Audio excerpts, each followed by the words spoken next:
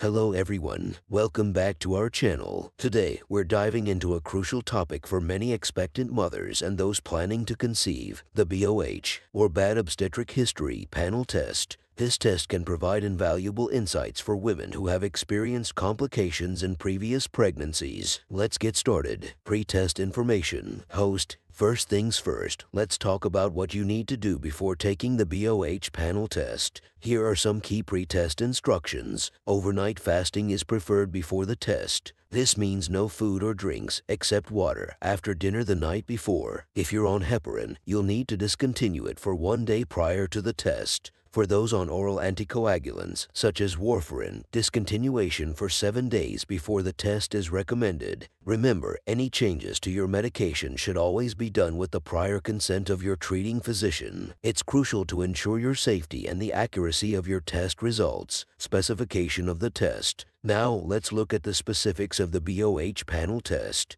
This test is primarily used to identify autoimmune conditions that might contribute to pregnancy complications. These conditions often manifest through fetal loss and thrombosis, disease associated. One of the major diseases associated with bad obstetric history is antiphospholipid syndrome. APS is a significant reproductive complication characterized by recurrent fetal loss, thrombosis, thrombocytopenia. This syndrome is closely linked with the presence of anticardiolipin antibodies. These antibodies can interfere with early pregnancy stages, particularly fetal implantation, leading to recurrent pregnancy loss. In fact, studies show that 8 42% of recurrent pregnancy loss cases are due to these autoantibodies. Specimen used. The specimen used for the BOH panel test is typically a blood sample. This allows the lab to analyze for various antibodies and other markers that can indicate underlying issues contributing to pregnancy complications. Components included the BOH panel test includes several components to provide a comprehensive analysis. These usually cover a range of antibodies and other relevant markers that can highlight potential issues. Test report time. Finally, let's discuss the test report time. Typically, results from the BOH panel test are available within a few days to a week. Your healthcare provider will review these results with you and discuss the next steps based on your specific situation. Importance of the BOH panel test. Understanding the role of the BOH panel test can be crucial for women with a history of pregnancy complications. By identifying autoimmune conditions like antiphospholipid syndrome early, appropriate interventions can be planned to improve the chances of a successful pregnancy. Thank you for watching. If you found this video helpful, please give it a thumbs up and subscribe to our channel for more health and wellness content.